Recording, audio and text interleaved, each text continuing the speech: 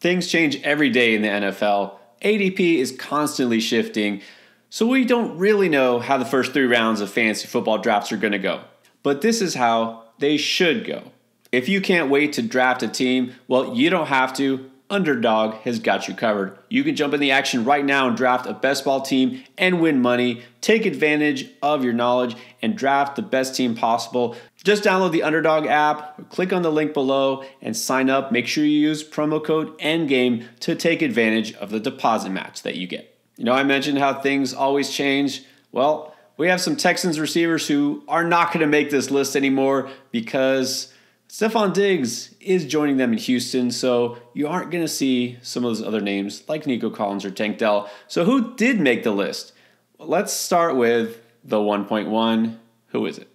Well, for me, it's Christian McCaffrey. I know there's always risk taking a running back at the number one pick, especially a guy with as much wear and tear as Christian McCaffrey, a guy who the last two seasons has stayed mostly healthy and has had a lot of touches. But man, the upside is here for Christian McCaffrey. Checks every box if I've got the number one pick, I'm gambling on him staying healthy again because if he does, he's going to smash. No arguments there. If you're somebody who likes to take a receiver early, who is the number one wideout for fantasy? I think it's CeeDee Lamb this year. Now, you correctly nailed this, Chris. You said that Lamb could have his best season, and he did. And somehow he might actually do better this year. Look, Cowboys have done nothing to address the running back position. They just let Michael Gallup go, and they haven't added anybody of note at receiver. We could somehow see CeeDee Lamb actually post better numbers, so I think he belongs right here at the 1.2. I agree. And at the number three, I'm going Tyreek Hill. This is a guy who was basically dominating in every aspect up until week 14 when he hurt his ankle and then he had a slow end of the season. But when he's healthy in this offense. We know Tyreek Hill has the kind of upside that can not only win you weeks, but win you a championship. I'm taking him with the three pick. You know who isn't the number one receiver, at least by ADP anymore? It's Justin Jefferson. I think this is low enough, though. The number four overall pick, I'm still taking a chance on a guy who absolutely could be the number one receiver in fantasy. You're worried about Sam Darnold or rookie quarterback? Well, go back last year and look at the numbers that he put up without Kirk Cousins when he had guys like Nick Mullens and Josh Dobbs in there. Yeah, I think Jefferson is fine, and I am still happy to get him here. Yeah, and I'm still happy to get Ja'Marr Chase with the number five pick. I know it feels like he probably hasn't quite lived up to our expectations, but that's mostly because either he, Joe Burrow, or both have been hurt. So I'm going to bank on both of them staying healthy, playing a full 17 games, and if they do, they're both going to smash, but especially Ja'Marr Chase has the kind of upside I'm looking for as a top five pick. Now, middle of the first round at pick number six, it's okay to go running back if you're getting Bijan Robinson. Look, he didn't quite break out in his rookie season, no fault of his own. Let's blame Arthur Smith, who's no longer there, by the way. And remember, I mentioned Kirk Cousins? Yeah, he's in Atlanta. They got a legit quarterback here, a new offensive system this could be it. This could be the key to unlocking Bijan. So I have no problem taking him this early. And I have no problem taking another running back, and that is Breece Hall this early. Loved him as a rookie. Said he could have a top five finish. It looked like he was headed that way before he tore his ACL. Obviously, last year, mostly a down year. I know he came on strong late, but that was really, uh, you know, because he was getting eight, ten dump offs a game. He really wasn't that good as far as like productivity goes. But we're going to see a fully healthy Breece Hall, and we might see a fully healthy Jets offense. Aaron Rodgers, hopefully healthy. I like a lot of the moves they've made this offseason. I think we're going to see a Jets team that's going to compete for the playoffs, going to give Breece Hall way more touchdown chances. So a healthy Breece Hall, I'll happily take him in the middle of the first round. Now, number eight, let's go back to a receiver, and you might not be sure who fits here. How about Amon-Ra St. Brown, the sun god, has proven he is a first round talent for fantasy. You know, a lot of people thought he was just kind of a safe pick. Where's the upside? Well, how about 1,500 yards? How about one of the leading receivers in the NFL again? And yes, this offense will continue to revolve around him, especially that passing game that is going to continue to rely on him because look, he is proven he is a target magnet. He has nowhere to go but up. So I'm happy with him as my number one receiver. And you might say number nine is too high for a second year wide receiver like Puka Nacua, but I say no, it's not. I'll take Puka Nacua at number nine. 1,400 yards as a rookie, broke the rookie reception record. And now he enters this offense in year two where he's clearly the number one guy here, not Cooper Kupp anymore. Matthew Stafford looked like his old self last year. As long as he's healthy, he's going to continue to sling it to Puka. Sean McVay loves Puka. This is a good offense for him. I think he asserts himself and takes an even bigger step forward in year two. So I'll take him inside the top 10 at number nine. Is it too soon to go back to Garrett Wilson in the top 10? I don't think so. Again, you might have been burned to some degree if you did take him late first or even early second round last year. We were all over Garrett Wilson, not knowing that Aaron Rodgers' Jets career would last exactly one series. But gonna take a chance that that won't happen again. And it's almost amazing that Wilson was able to put up some of the games he did with whatever they had at quarterback, including Zach Wilson, Tim Boyle, and whoever else. So Garrett Wilson belongs here. I think this year is going to prove it.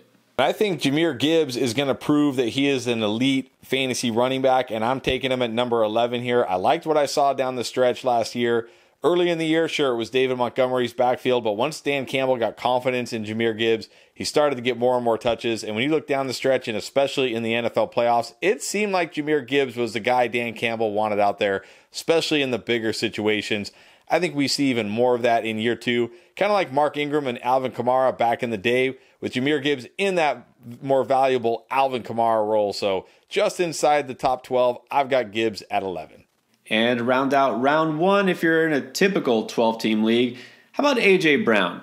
Now, it's easy to think that Brown was disappointing last year because toward the end of the season wasn't much of a factor. The whole Eagles offense and especially their team, talking about the playoffs, well, they let down but it wasn't AJB. He is still an elite wideout. That offense is still one of the best in the NFL.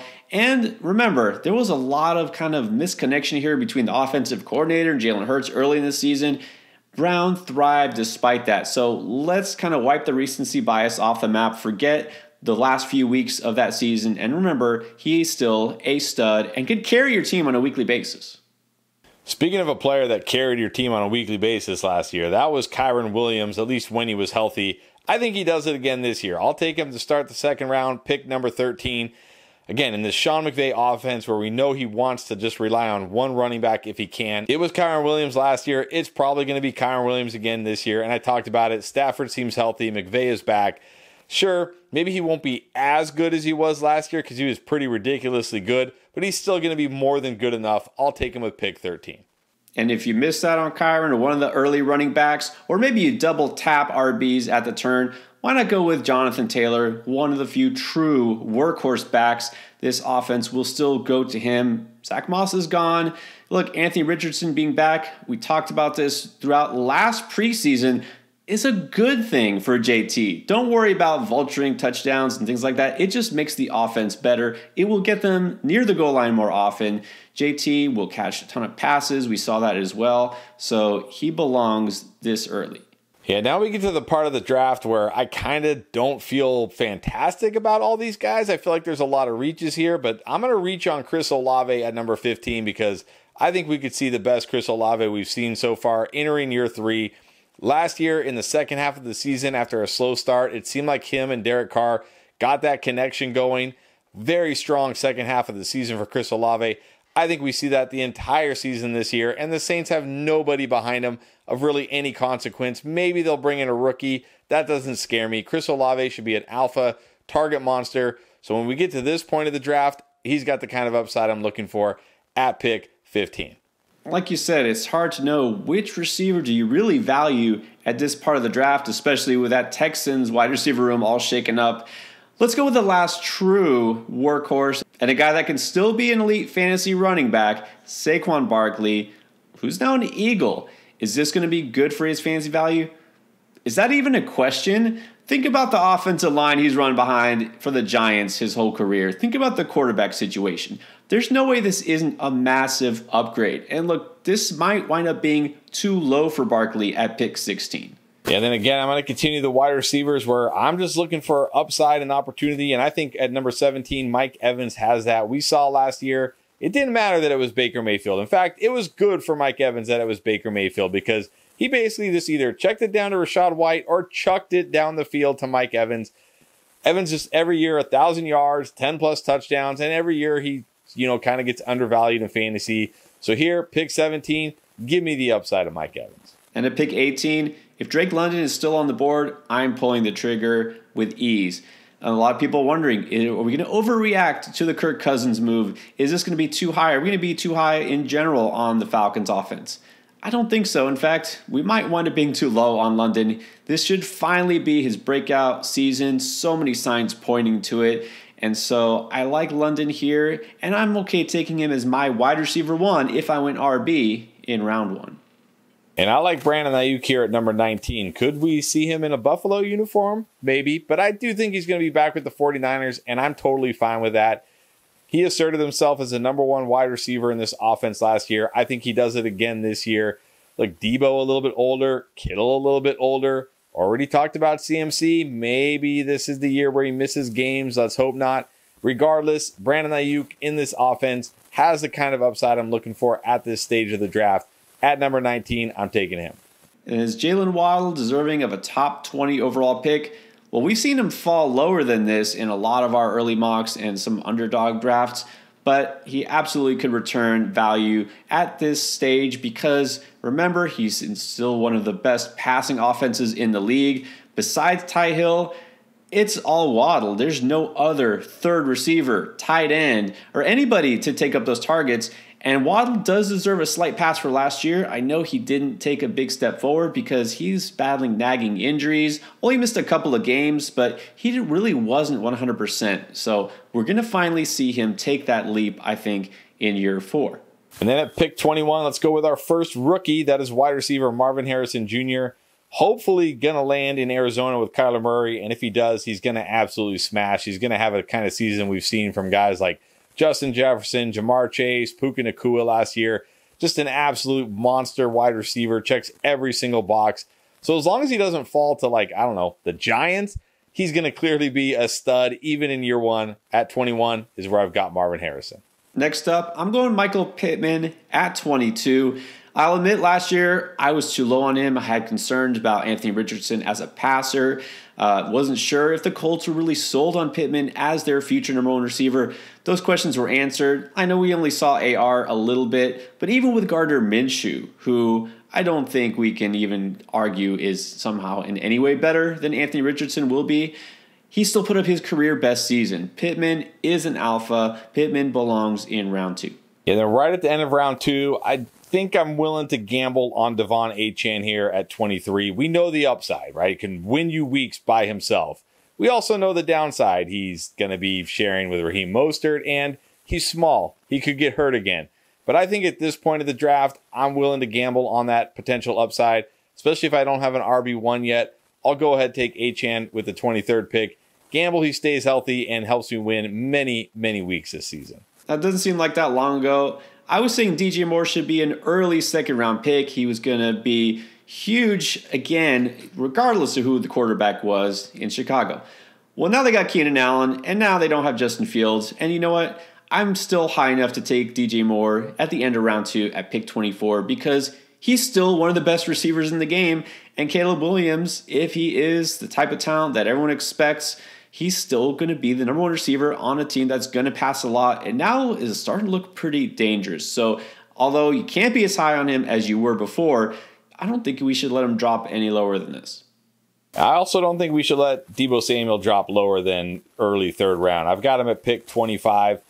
Sure, I talked about it with Aiyuk. Aiyuk probably the number one receiver here, but Deebo is used in so many different ways, like screens, carries, that he still has tons of value. And I think he's led the NFL three straight years in terms of yards after catch uh, per reception. So you know you're getting that from him. The touchdown upside in this offense. I think early third round, Deebo Samuel has the kind of upside I'm looking for at pick 25. Now 26. Let's go with another rookie. That's right. It's Malik Nabers time. It's going to be really interesting to see where he lands, but also how he's valued. Some people are saying he's as good or maybe better than Marvin Harrison Jr. will be, and some people are saying this is way too soon. I feel like third round is just right because no matter where he is drafted, he's going to be that team's number one receiver. And I know this sounds like hyperbole, maybe it's a lazy comp, but honestly, I see shades of Ja'Marr Chase in his game. I really think he's going to have a huge rookie season, regardless of who he plays for. And at 27, let's go for a running back on a new team, and that is Josh Jacobs of the Packers. This has to be a better situation than last year with the Raiders. He's going to be in that Aaron Jones role, already talking about catching more passes, a much better offense, going to have many more chances to score, going to have way more open lanes to run through. So, Josh Jacobs in the third round, if he's my RB1, I'm fine with that. At the 28th pick, I'm going to go with a guy who's maybe going a little under the radar, DeVonta Smith. That's right. In fact, you'll probably be able to get him a little bit later than this, but I'm not going to take a chance. This is another player, as I mentioned with AJ Brown, who should see better results with a more consistent offense. DeVonta Smith is a stud receiver. He would be putting up even bigger numbers if he didn't have another guy like AJ Brown to contend with. As it stands, he does, but he will still be probably the best number two receiver in the game. Then at 29, I got another running back who I'd be more than happy with as my RB1 that's being a bit undervalued, and that is Rachaad White. This guy was a top five running back last year, and what has really changed? The only thing that's changed with the situation is Dave Canales, the OC, is gone. I mean, is the new OC going to give the ball to Sean Tucker and Chase Edmonds? I don't think they're going to invest early draft capital in a running back. Rachaad White is once again going to be the workhorse running back in this offense. And you don't need to take him here normally. Normally he's like a fourth, fifth round guy, but this is where he should be going. And at pick 30, you want to know where the value's at? How about elite wideout Davante Adams still being here, and you can get him in round three? Look, Raiders may not have the most dynamic offense, and there are questions about their quarterback position, but there were a lot of questions last year between the very short Raiders career of Jimmy G and then Aidan O'Connell. I don't want to say that there's going to be some massive upgrade because I don't expect that but really, it can only be better. And Davante Adams was still really good. No new threats to his target share. Josh Jacobs is gone. This offense will still run through him, and I still think he's going to be among the fantasy elite. Then at 31, let's go with one more running back who seems like he's undervalued, whose situation has actually gotten much better, and that is James Cook. Not only did we see in the second half of last season when OC Joe Brady took over that they were a more run heavy team, but now Stefon Diggs is gone. I mean, what is this offense really going to be? It's going to be a lot more James Cook, hopefully, a lot more James Cook in the passing game as well. Touchdown upside in this offense. They're going to need James Cook this year. Another guy being very undervalued. You can get him much later than this, but I would happily take him here as my RB1 where he should be going. And then at pick 32, another great value running back, Travis Etienne. He was going higher than this last year. Look, there's some rumors that they want to get him some rest, Tank Bigsby get more involved, whatever. I mean, I was a big Tank Bigsby guy last year, and then I wasn't when I saw how bad he was. And plus, I'll actually believe Doug Pederson's words when I see it happen. Etienne will still be one of the leading rushers in the league. This offense will still try to establish the run because, look, they're losing some pass catchers. Ridley is gone. Trevor Lawrence maybe is not the generational talent that we thought he'd be. But Etienne is still a guy who's got tremendous value, and you can get him late in round three. Then at 33, let's go with our third rookie, Rome Odunze. We've already talked about Harrison Jr., we've already talked about Nabers. Why is Rome Odunze being valued so much lower than these guys? He's every bit the prospect that Harrison is. I think he's a better prospect than Nabers. Sure, it's going to matter where he lands, but it's going to matter where all these guys land. He shouldn't be going a full round, round and a half later than Nabers.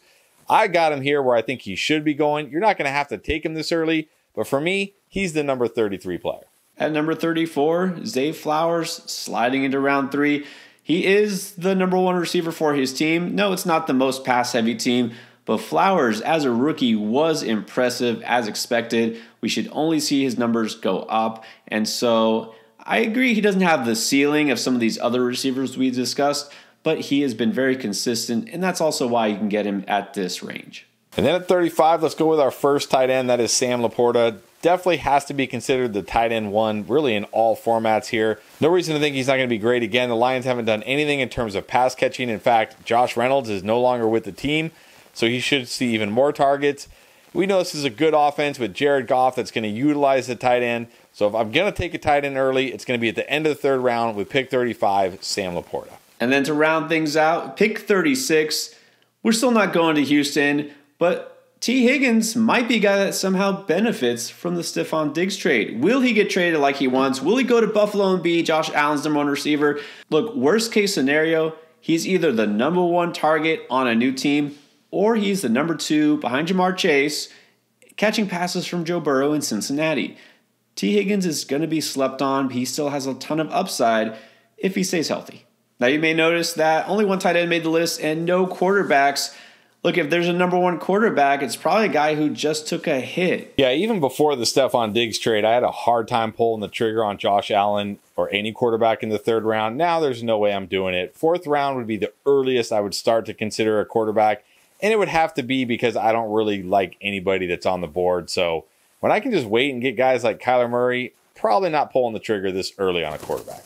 I didn't have anybody ranked in the first three rounds at quarterback, anyways. And I feel like, at least right now, to get a starting quarterback you can count on, you can wait.